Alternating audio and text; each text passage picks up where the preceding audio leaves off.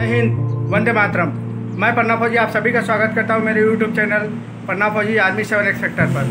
दोस्तों, आज एक छोटी सी बच्ची, मेरी सात साल की बच्ची जो है आर्मी वालों के साथ रह रहकर वो भी वो अपना किस तरीके से मिनी हाउस बनाते हैं, किस तरीके से अंडरग्राउंड रूम बनाते हैं, वो सब सीख गई है। उसको आज के ब्लॉग में दिखाऊँगा। तो आज के ब्लॉग में बने रहो और देखो, एक छोटी सी बच्ची किस तरीके से अपना अंडरग्राउंड अपना रूम बनाई हुई है और उसको अपने हॉलीडे रूम बना रही है।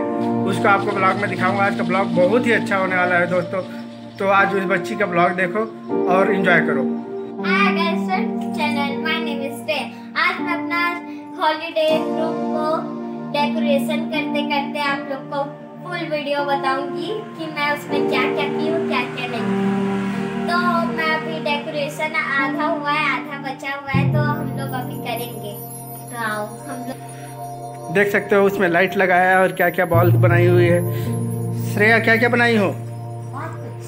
तो जल्दी से जल्दी अपने दोस्तों को बताओ क्या क्या बनाई हुई यहाँ पर। अभी भी सजा ही रही हो आप। हाँ। हाँ चलो बताओ जल्दी।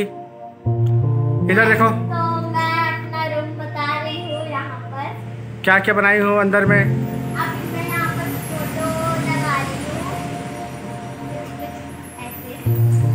अरे वाह स्टार वाला फ़ोटो लगा रही हो क्या? हाँ।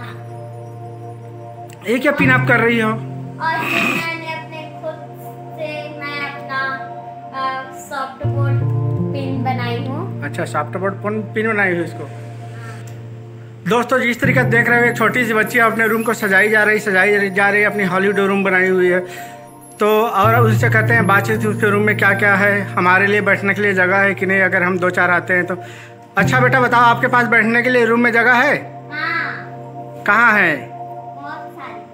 ये देख सकते हो दोस्तों अपने रूम में बैठने के लिए एक लकड़ी से का ये बनाई हुई अभी भी सजा ही रही है अपना रूम पढ़ने के लिए रखी हुई है यहाँ पर न्यूज़पेपर और ड्राइंग के लिए रखी हुई है छोटे छोटे बॉल्स हैं स्माइली बॉल्स स्माइली बॉल्स किस लिए रखी हो? अच्छा दिखाओ दिखाओ अपना स्माइली बॉल्स लेके आओ। अरे वाह! श्रेया की स्माइली बॉल कितनी अच्छी है। कितने सारे बॉल हैं आपके पास? ये आपके रूम का लाइट है? हाँ। अच्छा आप पंखा लगाओगे अभी कि टेबल फ़ैन लगाओगे यहाँ पर? टेबल फ़ैन लगाओगे? तो देख सकते हो दोस्तों अपना सोने के लिए तकिया लगा चुकी है। एक लाइट बैटरी वाला सेट की हुई है। और ये बैठने के लिए अपना इसको सेट की हुई है सामिश वाला। और स्माइली बॉल लगी हुई है किनारे किनारे इसका ड्रीम हाउस है लग रहा है ये। बिटिया ये आपका ड्रीम हाउस है क्या? आप अपने ड्रीम हाउस में ऐसी रखोगी? कितना अच्छा पिंक कलर का बना हुआ है पिंक हाउस तो दोस्तों जिस तरीके से देख सकते हो।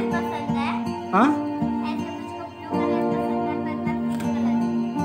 आपको ब्लू कलर पसंद है? हाँ। तो आपने पिंक कलर का क्यों दीवार बनाया फिर? अच्छा आपके पास पिंक कलर का ही है इसलिए पिंक कलर बनाया आपने। अच्छा लग रहा है बेटा ऐसे ये पिंक कलर भी आपका। पिंक कलर भी बहुत अच्छा लग रहा है। कई लोग को पिंक कलर बहुत अच्छा लगता है। इसीलिए आप पिंक कलर का बनाई हो पिंक हाउस हाँ सबसे ज़्यादा लोग को तो आप हम लोगों से दो मिनट बात कर लो उसके बाद जो है आप अपना डेकोरेशन करते रहना। आप नज़दीक आ जाओ यहाँ पर बैठ जाओ अपने चेयर पे बैठो चेयर पे बैठो अपना।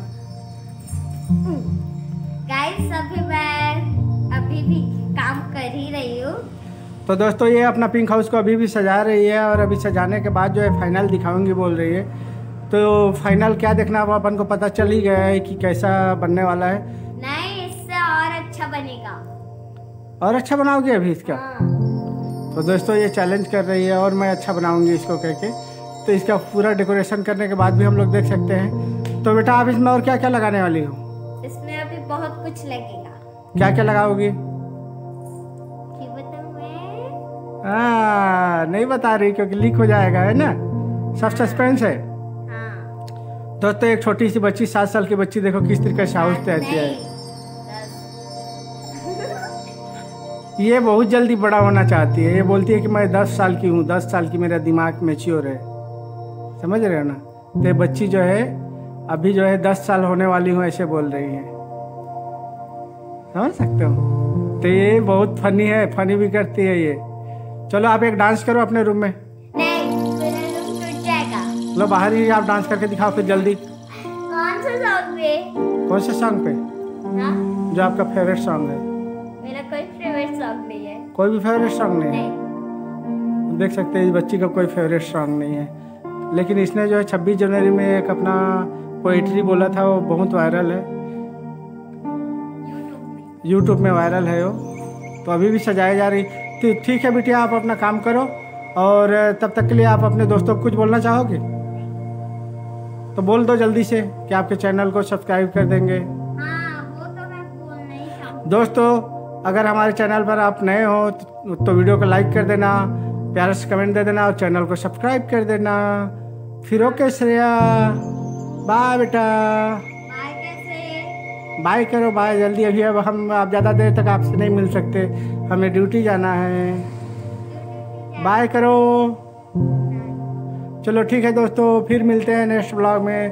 तब तक के लिए श्रेया को बोलते हैं bye bye Shreya bye bye bye